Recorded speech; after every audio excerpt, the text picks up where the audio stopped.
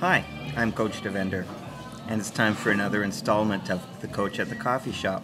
I'm here at my favorite Starbucks, having some hot chocolate on this cold winter day.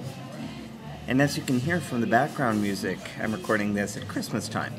And it's at this time of year where most people take a look at their goals for the new year. Now, I'm a big believer in goals, and I think it's really important to set your goals.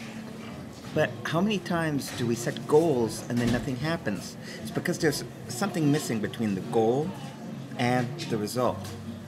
And when I work with my clients, I really like to focus on what their projects are. Because the way the, the thought process goes, it, you start off with a vision, you know, something that you want to create, something general that you want to create. It's like a dream. But a dream with a deadline, it becomes a vision. And then you move to intention. T- intention is okay, now I'm going to focus on creating this vision, um, to make this real. And there's a commitment behind it. And then you create your goal, your specific, measurable, audacious, tangible goals.